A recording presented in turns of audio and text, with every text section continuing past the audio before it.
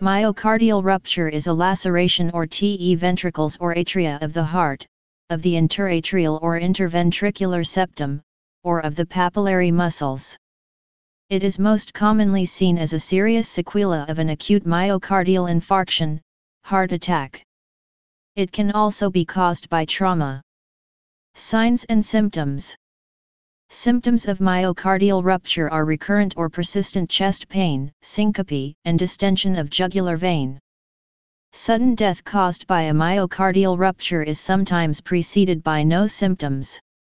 Causes The most common cause of myocardial rupture is a recent myocardial infarction, with the rupture typically occurring 3 to 5 days after infarction. Other causes of rupture include cardiac trauma, endocarditis, infection of the heart, cardiac tumors, infiltrative diseases of the heart, and aortic dissection. Risk factors for rupture after an acute myocardial infarction include female gender, advanced age of the individual, first ischemic event, and a low body mass index.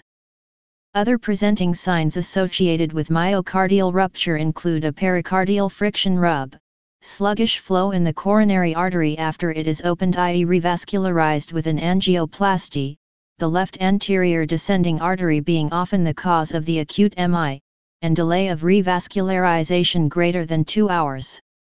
Diagnosis Due to the acute hemodynamic deterioration associated with myocardial rupture, the diagnosis is generally made based on physical examination, changes in the vital signs, and clinical suspicion. The diagnosis can be confirmed with echocardiography. The diagnosis is ultimately made at autopsy. Classification Myocardial ruptures can be classified as one of three types. Type I myocardial rupture is an abrupt slit-like tear that generally occurs within 24 hours of an acute myocardial infarction. Type II is an erosion of the infarcted myocardium, which is suggestive of a slow tear of the dead myocardium. Type 2 ruptures typically occur more than 24 hours after the infarction occurred.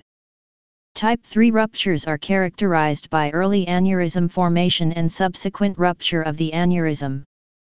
Another method for classifying myocardial ruptures is by the anatomical portion of the heart that has ruptured.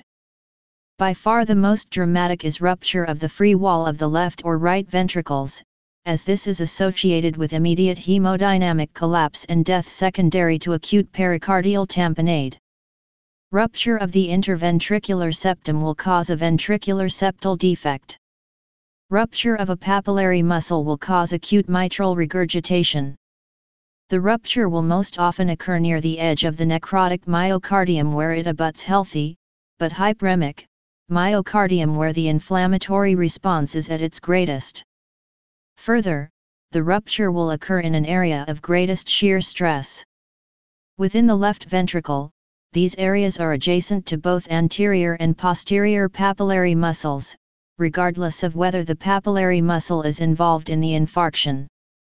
Left ventricular free wall rupture almost always results in hemopericardium, the exception being in the scenario where the patient has had prior open heart surgery and has obliterative fibrous pericardial adhesions, these would prevent egress of blood, and pericardial tamponade.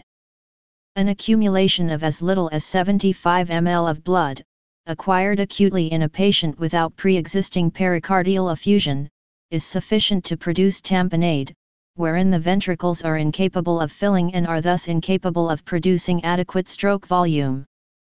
Treatment the treatment for myocardial rupture is supportive in the immediate setting and surgical correction of the rupture, if feasible.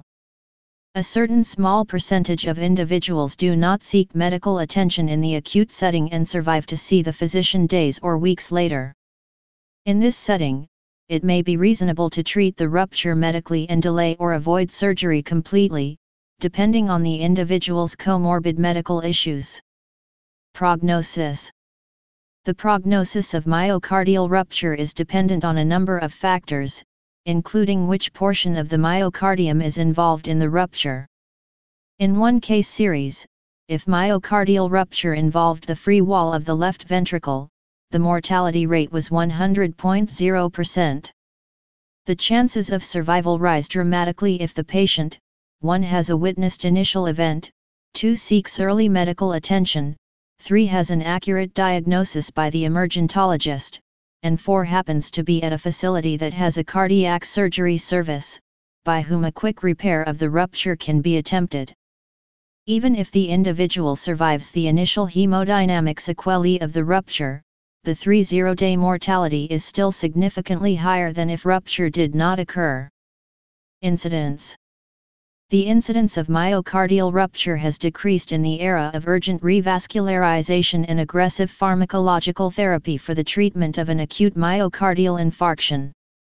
However, the decrease in the incidence of myocardial rupture is not uniform, there is a slight increase in the incidence of rupture if thrombolytic agents are used to abort a myocardial infarction. On the other hand, if primary percutaneous coronary intervention is performed to abort the infarction, the incidence of rupture is significantly lowered. The incidence of myocardial rupture if PCI is performed in the setting of an acute myocardial infarction is about 1%. Please subscribe and thanks for watching.